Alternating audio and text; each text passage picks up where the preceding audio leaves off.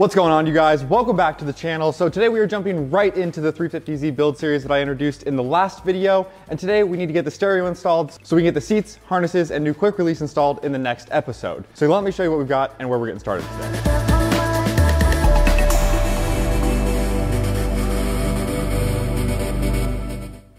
So today we're gonna be installing one badass sound system in the Z to make this thing the ultimate party car out of the track. All the stuff is from Pioneer, or at least all of the main components are, not the accessory stuff that we need to install it. Got a Pioneer double din setup that we're gonna be putting in the car. It does have CarPlay, Bluetooth, all that good stuff. Got a five channel amp to power the four speakers and sub. And speaking of speakers and our sub, we've got a 10 inch sub that we're gonna be putting in the back in the spare tire well so that it can stay in while we're drifting. Six and a half inch speakers for the rear and then component speakers up front. And as we go through and do this install, I'll explain a little bit more of what these things are when we get to them. Now, unfortunately, after I finished filming the last video, I realized some more interior pieces have to come out and it's gonna be kind of a pain. Let me show you. So as you can see, I popped off the speaker grill on this back plate behind where the seats go and was unfortunately greeted by the fact that you cannot remove the speaker without removing that whole plastic cover, which means the harness bar has to come out. So before we do anything today, I'm gonna get all of this stuff taken out, remove the old speakers, and that way we have a completely clean slate to lay down our fresh wiring.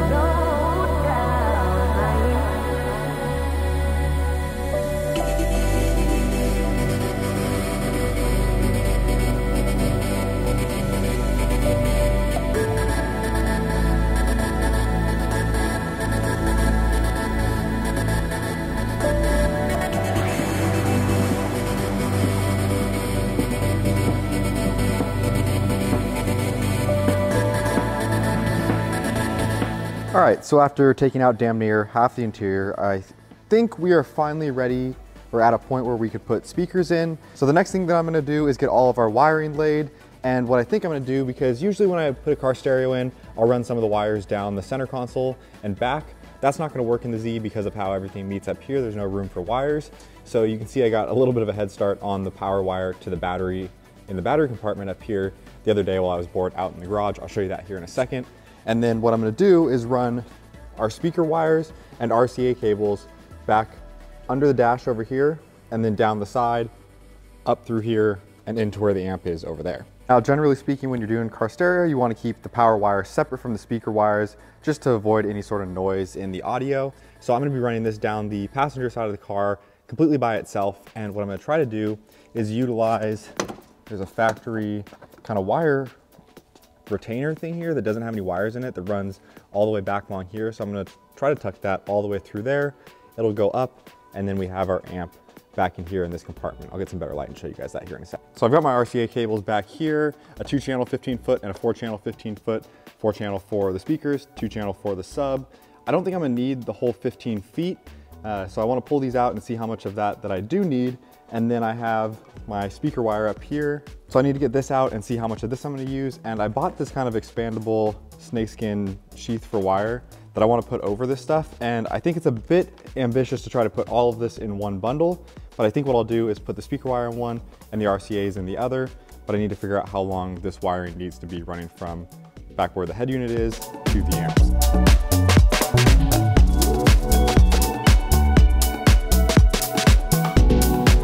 Right, so I ran one of the 15 foot RCAs, how it's gonna be run through the car. So it comes along through here, down the driver's side door, back up and into the stereo. So why I did this was because I wanted to confirm how much extra I have with this. And as you can see, there's quite a bit of slack. So what I'm gonna do is cut this 50 foot roll into four pieces. For the speaker wires, are gonna be running the same route as the RCAs. And that way we'll have four 12 and a half foot sections and we can start running all the wires through the car.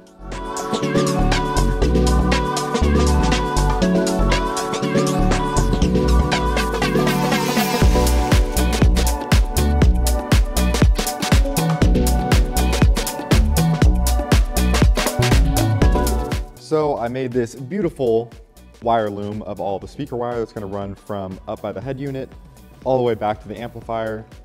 Got tucked into this wire cover all the way, heat shrink on both ends, and a little bit of extra wiggle room for where we're gonna connect these up to the head unit and same on the other end for where they need to go into the amplifier. So the next thing I need to do is get the wires on here connected to these, which are gonna connect to the factory wiring harness. And so what this is doing is connecting, obviously these wires here, these go back to the amplifier. So once we connect the RCAs to the head unit, that's gonna run back to our amplifier and then all of our sound will run through here and back into the speaker where it will come out of, if that makes sense. So I'm gonna go ahead and get these connected while we're out of the car. And when you buy the wiring harness that's meant for your car, it usually has on the back there what is what. So you can look here like left rear negative is green and black. So that's on this harness here. And I went through and marked each of these so I knew which wire was which on both sides. And now I'm gonna go through and get these connected. And I found these super cool. It's like a solderless connection. So there's actually solder in here. And when you hit it with a heat gun, it'll melt down and connect the wires super nicely. We use these on my sister's car recently and I loved how they work. So we're gonna be in good shape here. They're super, super clean. So I'm gonna go ahead and get those all connected.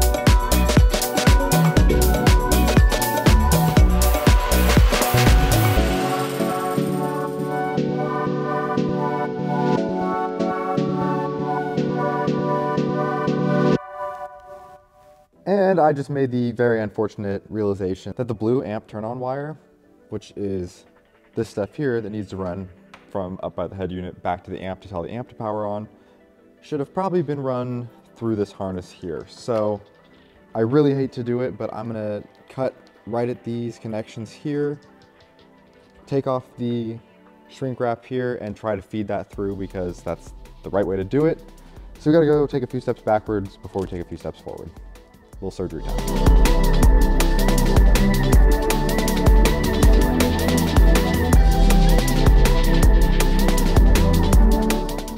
So I ended up having to just pull the cover completely off to run the blue wire through, but got everything back together, heat shrink on both sides, blue wire coming through, and got these connected again. So now I need to get the, I believe it's the front ones.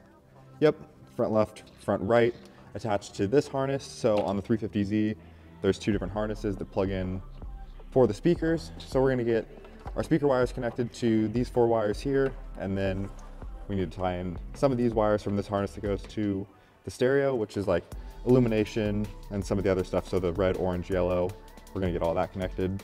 So a little more, a little more soldering or solderless soldering.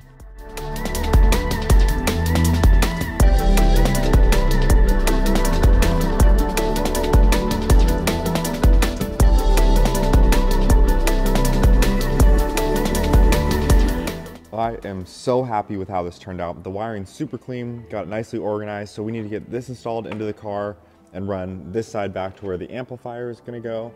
And then we've got to do the second RCA as well. I did decide I'm not gonna put those in this same cover. I don't, I just don't think it's necessary with these. So we're gonna get the two RCAs and the speaker wires all wired up and start looking at getting the amp mounted.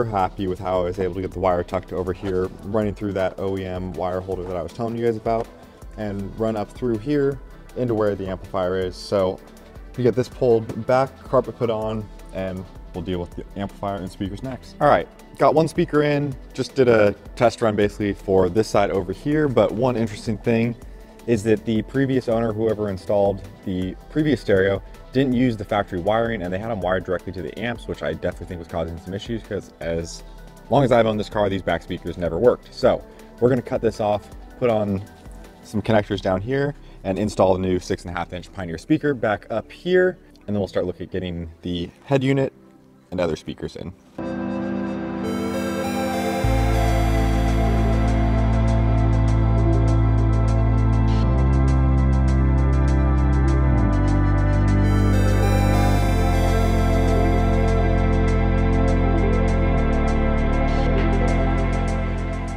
So now I want to start taking a look at getting our head unit mounted. We're going to be using this Pioneer Double Din. This is an 8100 NEX. This is a little bit older model. I think I pulled this out of one of my other cars when I replaced it with a newer model at some point, but need to get this mounted up to these factory brackets. Unfortunately, when I pulled out the other radio over there, there were just no brackets. So had to buy these off of eBay, but these get mounted on the side here. And then we've got this plate that goes around the front and into the trim. So I'm gonna get this all assembled, look at getting our RCA cables connected back here. So the RCA cables are what run from the head unit back to the amplifier to feed signal, and then from the amplifier, those go back out to the speaker wire to play your sound out of the stereo. So I'm gonna go ahead and get this started, get loosely mounted up, and then we will keep moving on getting the other speakers installed.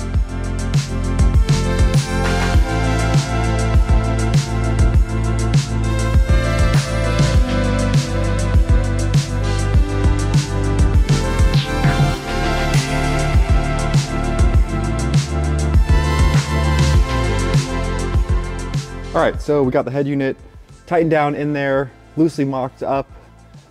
Got both of our speakers in the rear. And before I start taking off the door cards to get the front speakers in, I do want to get this amp situated back here. So I've been trying to figure out which way I want to mount this.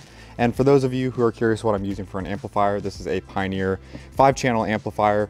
Uh, this is gonna power all four speakers and then it has a separate channel for the subwoofer. Uh, if you're familiar with car stereo, you can do this one of two ways. You can have a four channel amp and then another single channel amp which is what I've done in most of my cars, but because I want to conserve space and weight in the Z, this five channel is a perfect way to go. So I've got all the wires running through here and I was just trying to decide which way I wanted to orient everything.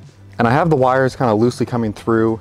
They're just coming up through the bottom here, but what my plan is, is to drill out holes here and use grommets to run the wire through. And I was just trying to figure out which side I wanted everything to come through. But one of my limiting factors is the speaker wire. So I did 12 and a half foot run of this and if I did it on this side, I think it would just reach, but to allow myself a little bit of slack, what we're gonna do is mount the amplifier this way.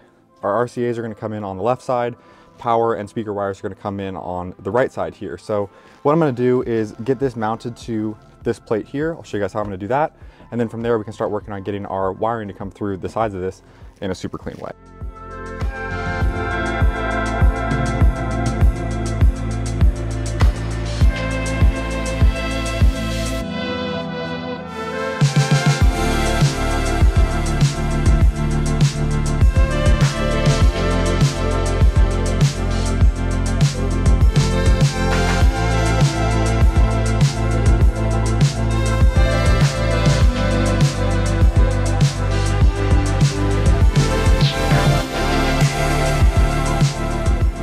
Right, so major progress update. Got the amp sitting in here. All the wires are run, so I need to get the RCAs hooked up. Need to cut and strip these wires down for the speakers, get those plugged in on this side over here, as well as the power and ground wire. So I'm gonna probably start with these and then work my way around to get everything connected here. And I do have the head unit out as well, just to confirm that we get the RCA cables plugged in to the right spots from here back to the amplifier so I'm gonna go ahead and get all of this stuff connected and then we'll start working on the speakers. And then we'll start working on the front speakers.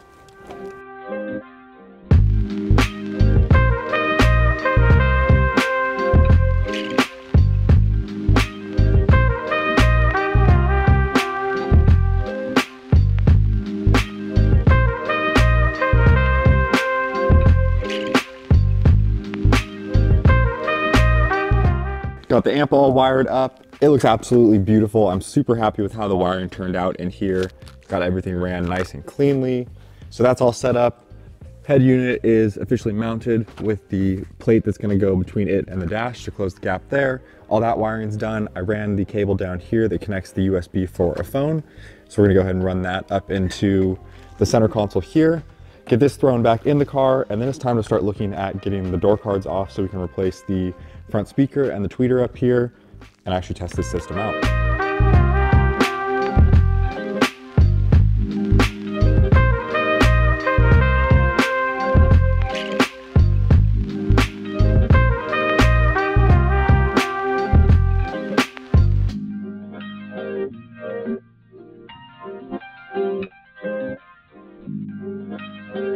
All right, so we made some good progress last night, but ran into one major issue.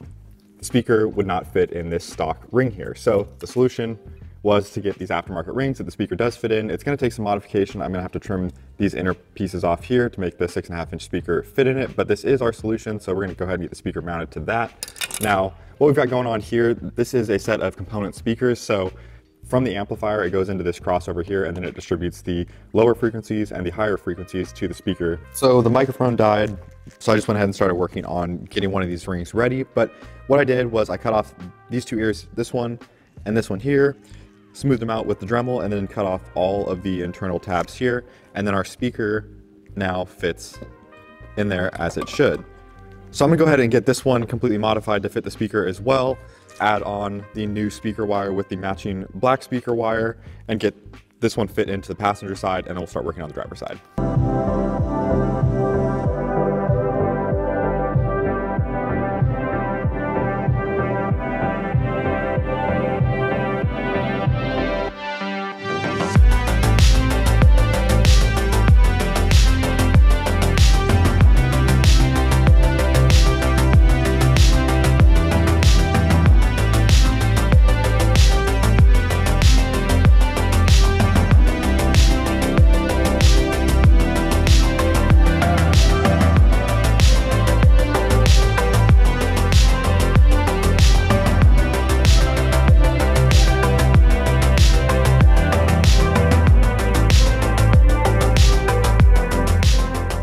Hell yeah, I am so excited how this turned out. So got everything mounted up here. The install is super clean. We've got the wire coming from the, what they call the woofer down here, coming up to the crossover, tied into our factory harness. Everything looks super clean. So I'm gonna leave the door card off because once we get the other side done, we're gonna plug everything into the battery and actually be able to test the system. And I wanna make sure everything's working before I put anything back together.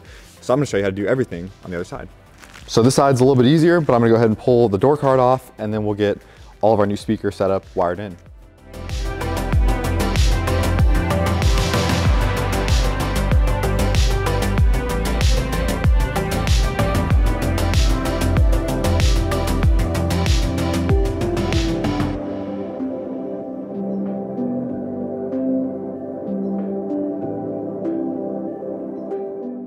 So this tweeter is the part that I was saying that we can take apart this whole outer shell as it comes from Pioneer and get it down to this size so that it actually fits in the stock location here. So I'm gonna go ahead and start just taking this apart, getting this in here, and we can get this fit up and get the driver's side finished up.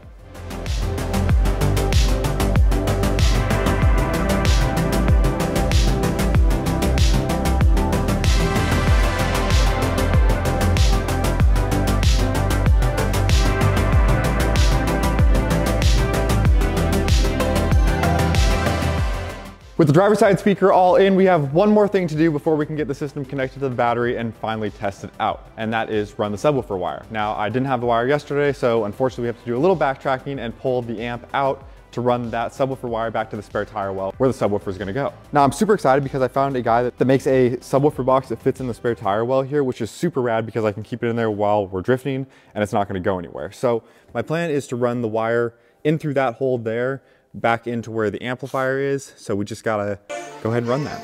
So like I was saying, unfortunately, we have to take a few steps backwards here to get this out enough that I can drill one more hole for a grommet for the subwoofer wire. I should have just done that to begin with, but uh, I wasn't thinking that far ahead, unfortunately. So I'm gonna try to disconnect this side, disconnect the power wires, but leave all the speaker wires hooked up because those are the most difficult to get connected. And then we should be able to pull this out enough that I can see back there and feed a wire through.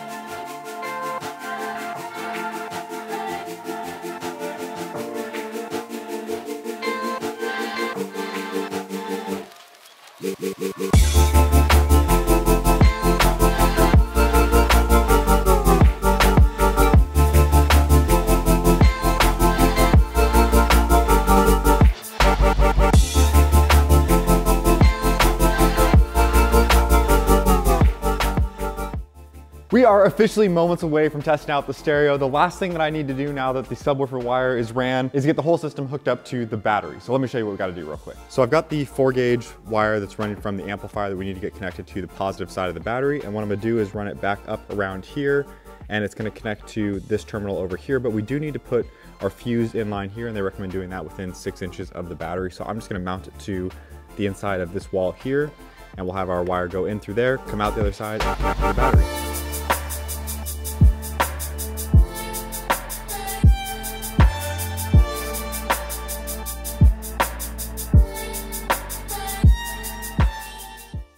All right, moment of truth. I've got everything wired in over here, going through the fuse, connected to the positive side of the battery. Let's go ahead and fire it up. Got windshield wipers. Oh, we've got the stereo. All right, let's see if everything works.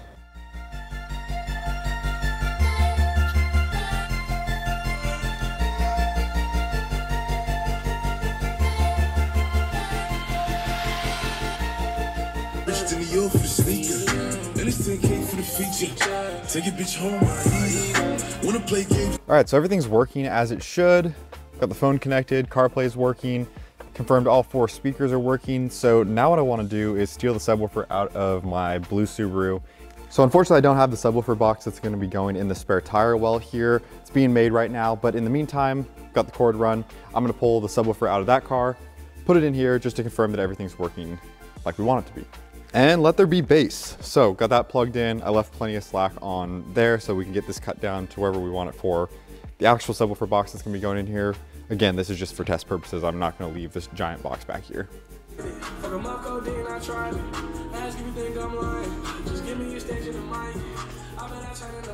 Woo! Well, now that we know that everything works as it should, officially time to get this put back together. So I'm gonna start with the door cards and then work my way through the interior, getting everything reinstalled to complete this job.